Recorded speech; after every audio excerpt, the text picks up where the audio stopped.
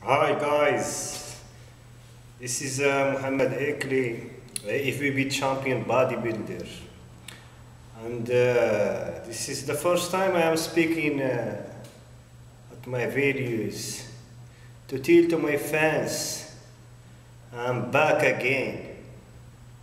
And uh, everything is okay, uh, my preparation was good, but uh, I have some troubles with this uh, organization.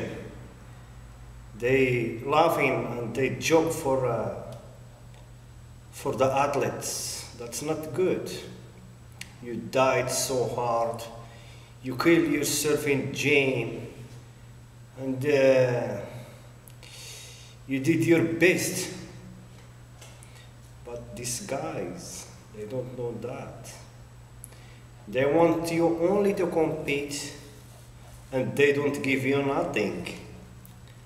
This is how I give up for competing in this place in Morocco. But uh, I hope really to get my visa soon and compete at the nationals uh, US. Uh, or I will go to Thailand to prep there. That is good. Uh. I think uh, Thailand is a very good country too and very cheap. And uh, I'm happy. I'm back. I was taking uh,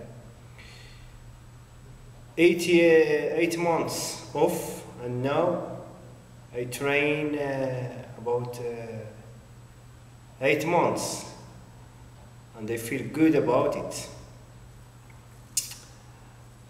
I will sacrifice to be the best